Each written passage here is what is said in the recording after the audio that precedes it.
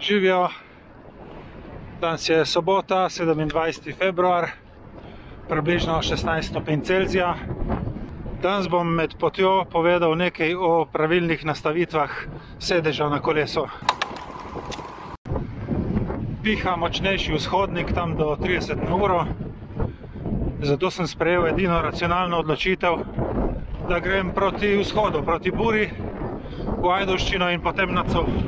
Pred odhodom sem si naložil aplikacijo Strava, tako da vam bom na koncu videa povedal neko mojo skromno oceno o njej. Preko Instagrama so me kontaktirali trije mladi fantje, Vid, Nejci in Jakob, če lahko povem kaj na temo nastavitve sedeža na kolesu. Po njihovih fotografijah sklepam, da so kolesari. Nekateri kolesari smatrajo, da nastavitev sedeža ni tako pomembna, predvsem z izgovorom, da njihove vožnje niso tako dolge ali pa intenzivne, da bi to imelo pomen. Ampak tako razmišljanje je napačno. Porabljate preveč energije, lahko pa prije tudi do poškodb. Zdaj pri nas, pri odraslih rekreativcih je tako, da ko imaš enkrat sedeš dobro nastavljen, lahko pozabiš na en, a imaš za zmeraj v tistem položaju in si rešen.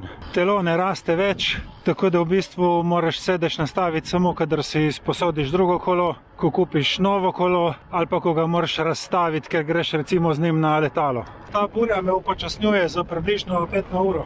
Povsem drugače je to pri mladih fantih, ki še rasejo, in morajo sedež nastavljati vsake pol leta. Bom opisal eno preprosto tehniko, kako nastaviti sedež.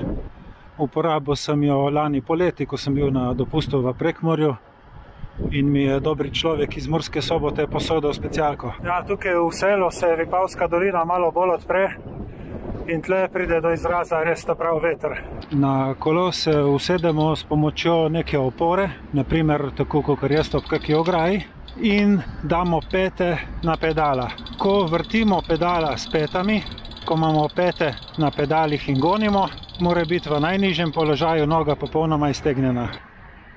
Zelo pomembno je, da najdemo točno tisto točko, da je noga popolnoma iztegnjena, vendar pa pri gonjenju ne pride do pozibavanja medenice levo in desno. V trenutku, ko se medenica začne pozibavati, pomeni, da je sedež previsok. Ko enkrat najdemo tisto pravo višino, imamo potem zagotovljeno, da ko bo noga v normalnem položaju na pedalu, da bo v spodnji točki rahlo pokrčena točno toliko, kot je prav. Pejte probat, kilometr, dva, pa boste hitro dobili občutek, če je ok. Če ni, ga lahko še zmer popravite. Sedež prilagajate, ne delajte prevelikih sprememb. Predlagam, da ga spreminjate po višini za pol centimetra nikakor pa ne več kot za en centimeter naenkrat.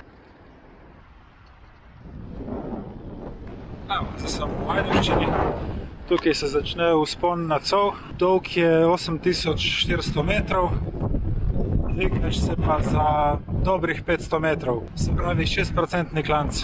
Kaj je najbolj strm, ta prav ta prvi vzpon, takoj iz Ajdoščine ven, kakšne dva kilometra se fajn dviguje skozi prvi dve serpentini, potem se pa cesta precej zravna. No, tle pa klanc malo popusti. Pri zategovanju vijakov bodite previdni in nežni, ker sicer lahko poškodujete okvir. Pri meni je pod sedežem napisano 4nm. To je oznaka za maksimalen navor 4 Nm. Predstavljajte si, da imate imbus ključ v obliki črke L in ta daljši konc je dolg 10 cm. To pomeni, da lahko na tem daljšem koncu pritiskate z maksimalno silo 4 kg. To je 4 Nm. Zaradi plazu, ki je bil tukaj pred skoraj 40 leti, so potem naredili ta podporni zid, ki je postal kmalo covska spletna stran. Ker je to silo težko oceniti na pamet, se kupi pač poseben moment ključ, kjer lahko nastavimo maksimalni navor, tako da ne moremo vijaka zategniti preveč. Za te kraje je značilen borov prelec. To je v bistvu metul, katerega gosenice se čez zimo zabubijo v te vlaknaste gnezda. Gosence imajo stropene dlačice, če je kdo alergičen. Druga nastavitev je nagib sedeža. Ta je najbolj enostavna, sedež mora biti popolnoma usporeden s tlemi, se pravi vodoraven, kar izmerimo z libelo oziroma vodno tehtnico oziroma z vaservago. Ne gledajte moje torbice, torbice so za luzerje, ampak to, kako na kolesu izpadeš profi, bom uh, predstavil v enem od naslednjih videov. Sedež pomikamo tudi naprej ali nazaj, se pravi proti bilanci ali pa stran od nje. Tukaj velja nekako preprosta logika. Če želite imeti uh, bolj udobno vožnjo, se pravi, da boste držali krmilo bolj pri vrhu, dajte sedež rahlo bolj nazaj. Če boste vozili pa bolj tekmovalno in držali krmilo bolj naprej in bolj spodaj, pa si dajte sedež rahlo naprej. Tukaj je pa ohranjena covska mitnica. Tle je v srednjem veku stal dvorec, kjer se je plačevalo mitnino oziroma colnino, zaradi tega se tudi kraj kliče Cov. Cesta je peljala pod obokom, zato se je ta kraj včasih imenoval Podvelp. Dvorec so porušili v letu 1840, ker je obok postal moteč za zmeraj več prometa.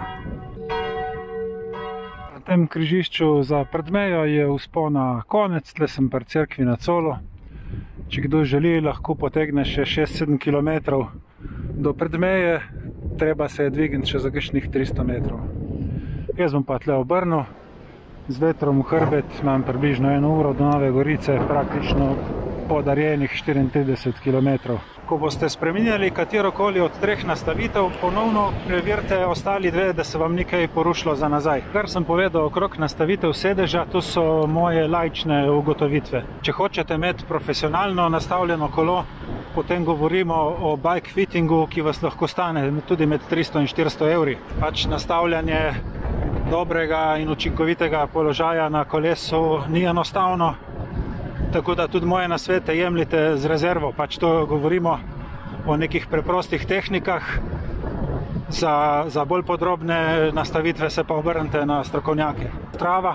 Moram reči, da sem navdušen nad porabo baterije in sicer v teh treh urah in pol, kar me ni bilo doma, je porabila samo 22%. Aplikacija Map My Ride mi je skoraj zmeri izpila več kot pol baterije. Strava je tudi zabeležila 15 minut daljšo vadbo kot uh, moj kolesarski števec. Tu pa zaradi tega, ker sem se večkrat ustavil in sem se gibal po cesti brez kolesa, ko sem uh, postavljal kamero oziroma snemal določene stvari. Glede na GPS uh, koordinate oziroma progo, ki jo je aplikacija zrisala, moram reči, da je srhljivo natančna.